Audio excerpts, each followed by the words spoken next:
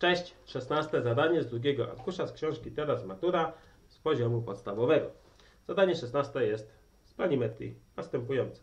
W trapezie równoramiennym kąt między ramieniem a dłuższą podstawą ma miarę 80. Jeżeli kąt alfa jest kątem między ramieniem a krótszą podstawą, to oni się pytają, ile to jest połowa z tego kąta.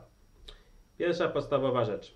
Skoro to jest trapez równoramienny, tak, tu jest 80, to tu też jest 80.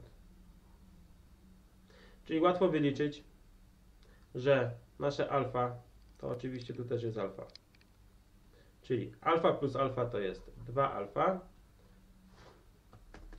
Dodać 80 i 80.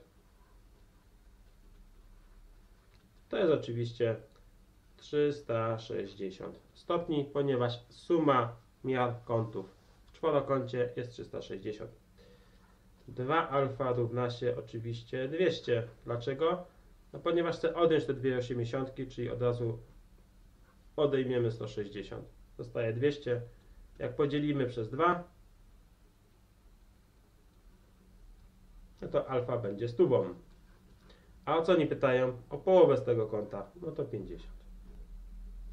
Po zadaniu. Łatwiejszy sposób. Trzeba pamiętać, że w każdym trapezie, przy każdym ramieniu ten kąt plus ten kąt razem daje 180 stopni. W każdym. To nie musi być nawet równoramienny. Czy jak tu jest 80, no to tu jest stuwa, nie?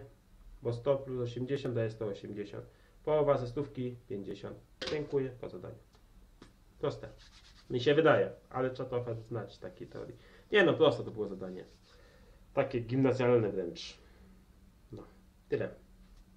Zmykamy do kolejnego. Cześć. Zmotywuj nas do dalszej pracy, zostawiając łapkę w górę i subskrypcję.